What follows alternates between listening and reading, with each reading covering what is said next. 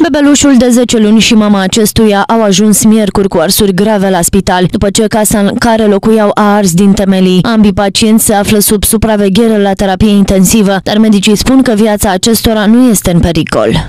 Fiindcă la momentul acesta starea este într-o evoluție favorabilă, staționară, echilibrată. Mama prezintă arsuri de și trecători asupra dispersa corporală, iar copilul de gradul 1 și 2 cam 1% dispersa corporală. Sperăm într-o evoluție favorabilă ambele paciente se află internate una la chirurgie pediatrică terapie intensivă, cealaltă în terapie intensivă chirurgie plastică experimență. Dacă totul va decurge bine, cam câte timp ați fi mai mult necesitat? Probabil că 7-10 zile sunt uh, cel puțin necesare pentru a fi monitorizate și evaluate de către și specialiști.